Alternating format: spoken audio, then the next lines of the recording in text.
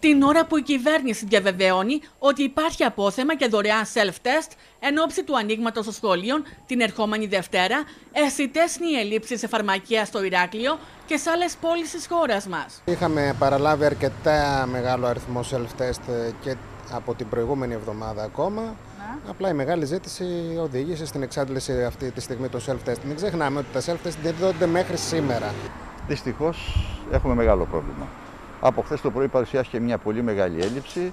Καταφέραμε το απόγευμα, οι αποθήκες, οι συνεταιρισμοί κατάφεραν να εξασφαλίσουν μια μικρή ποσότητα, η οποία όμως δεν έχει καλύψει ούτε το 60% των αναγκών οι οποίες έχουμε αυτή τη στιγμή για να δώσουμε στον κόσμο. Η κυβέρνηση και η Υπουργείο Παιδείας δεν μερίμνησαν προκειμένου να υπάρχει ο κατάλληλος εφοδιασμός με self-test των φαρμακείων προκειμένου να προμηθευτούν και οι εκπαιδευτικοί και οι γονείς. Άρα το πρώτο τεστ που θα πρέπει να κάνουν οι γονείς αύριο και οι εκπαιδευτικοί σε μεγάλο βαθμό ή δεν θα το κάνουν γιατί δεν θα έχουν το self-test ή θα πρέπει να βάλουν το χέρι στην τσέπη. Οι γονείς από την πρώτη στιγμή προσπαθούμε και να προμηθευτούμε self-test αλλά να ακολουθήσουμε και όλα τις οδηγίες που μας δίνονται. Δυστυχώς όμως οι οδηγίες είναι και της τελευταίας στιγμής, είναι και ανοργάνωτα, με αποτέλεσμα οι γονείς να μην ξέρουν ειλικρινά τι να κάνουν για να στείλουν τα παιδιά τους και αν θα τα στείλουν τη Δευτέρα. Συνέπεια, αρκετοί γονείς να βρίσκονται σε απόγνωση καθώς αδυνατούν να εξασφαλίσουν self-test, ενώ δέκτες της αγανάκτησης γίνονται φαρμακοποιοί, οι οποίοι σημειώνουν ότι δεν φτάνει η φαρμακοποιή για τις ελλείψεις που καταγράφονται. Θεωρώ ότι είναι ένας πάρα πολύ κακός προγραμματισμός. Μας δίνουν τη δυνατότητα. Τετάρτη μισή μέρα.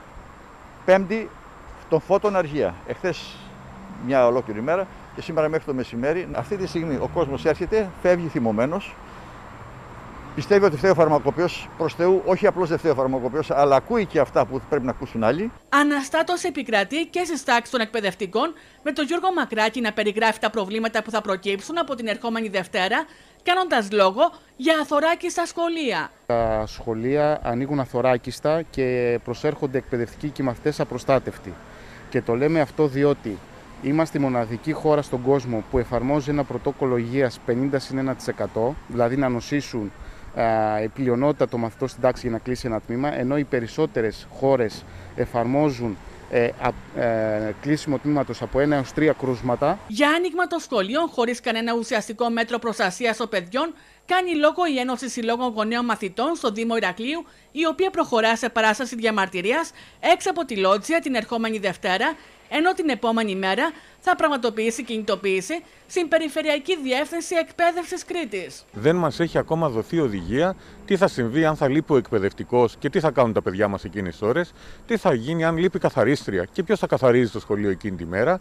Αυτό που εμείς λέμε με κάθε τόνο και πάντα είναι ότι τα σχολεία πρέπει να είναι ανοιχτά, τα παιδιά μας πρέπει να μορφώνονται και οι υπεύθυνοι πρέπει να αναλαμβάνουν τις ευθύνες τους ώστε όλα αυτά να συμβαίνουν με ασφάλεια.